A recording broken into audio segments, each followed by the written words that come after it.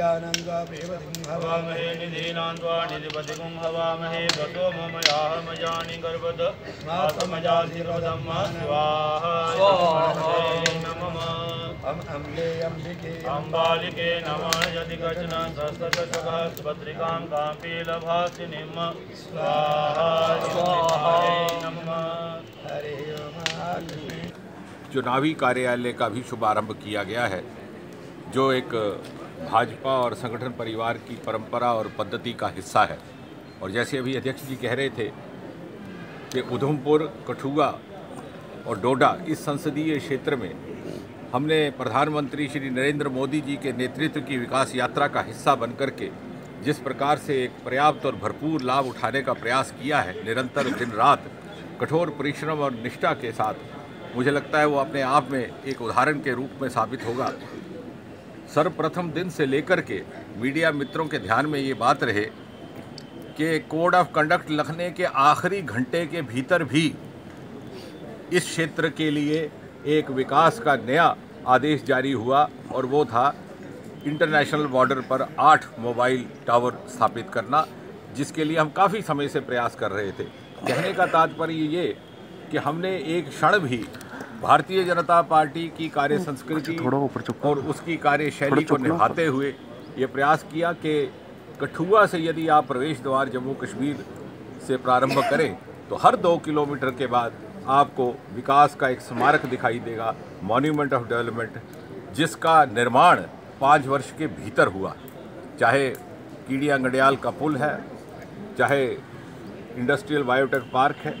चाहे seed processing plant है चाहे हाईवे हाट है चाहे इंजीनियरिंग कॉलेज है चाहे बायोमेडिक चाहे मेडिकल कॉलेज है चाहे उसके आगे आप चले जाइए तो चाहे वहाँ रेलवे स्टेशन के सुंदरीकरण का और उसका अपग्रेडिंग का कार्य है उसके आगे जाए तो बॉर्डर एरियाज़ पर जहाँ पर के 600 सु- सुलभ शौचालय निर्माणित हो चुके हैं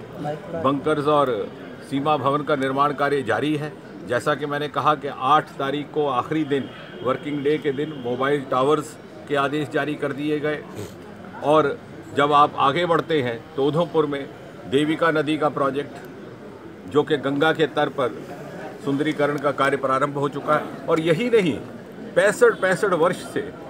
पचपन पचपन चालीस चालीस वर्ष से रुके हुए कार्य। मुझे विश्वास है, मीडिया मित्र कभी इस विश्लेषण के लिए समय निकालेंगे। कि शाहपुर कंडी का प्रोजेक्ट जो 40 वर्ष से रुका पड़ा था। कई सरकारें आई, कई गई, कई जनप्रतिनिधि आए, कई गए। परंतु ये मोदी जी के नेतृत्व में ही संभव हुआ कि आज उसका निर्माण कार्य हमारे विक्रम रंधावा साहब, आदरणीय अशोक कोल जी, पार्टी के सभी वरिष्ठ नेतागण, कार्यकर्ता बंधुओं, आए हुए प्रदेश के जिलों के, मंडलों के सभी वरिष्ठ नेता, मोर्चों के कार्यकर्ता बंधु, पूर्व हमारे विधायक बंधु, साथियों, आज हमारे लिए बहुत ही खुशी का ये दिन है कि जिस तरीके से पूरे देश के अंदर चुनावी बिगुल बजने के बाद जम्मू कश्मीर में भी इस चुनावी अभियान की शुरुआत कर दी गई है। आज हमारे वरिष्ठ नेता डॉक्टर जितेंद्र सिंह साहब ने उधमपुर कठुआ डोडा पार्लियामेंट्री सीट के जो मेंबर पार्लियामेंट भी हैं उनके द्वारा उधमपुर, डोडा, कठुआ जो पार्लियामेंट्री सीट का जो मुख्य चुनावी कार्यालय के रूप में आज विधिवत तौर से इस आज कार्यालय का हमने उद्घाटन किया, आज से इस चुनावी प्रक्रिया का बिगुल हमने बजा दिया। हमने देखा पिछले पाँच साल में जिस तरीके से केंद्र की मोदी सरकार ने काम किया, गाँव हो, शहर हो, गरीब, मजदूर, किसान